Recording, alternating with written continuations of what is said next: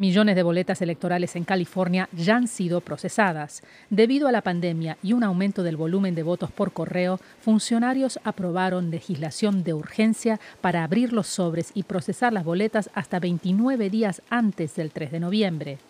El proceso es minucioso, como explica Liz Oviedo de la Oficina del Registro Electoral del Condado de Santa Clara. En cuanto llegan, se pasan por una máquina que les toma un scan al sobre. Después de tener esta imagen del sobre, verificamos las firmas de cada votante. Se vuelven a pasar los sobres por esta máquina, se abren, se preparan para el conteo. Nosotros empezamos ya a contarlos si falta la firma o hay alguna discrepancia, se contacta al votante para corregir el error.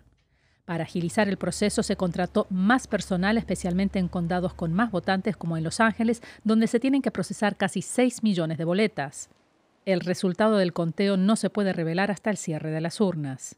Los primeros resultados son de los votos anticipados y por correo. Después de las 8 de la noche se procesan los votos emitidos el día de la elección.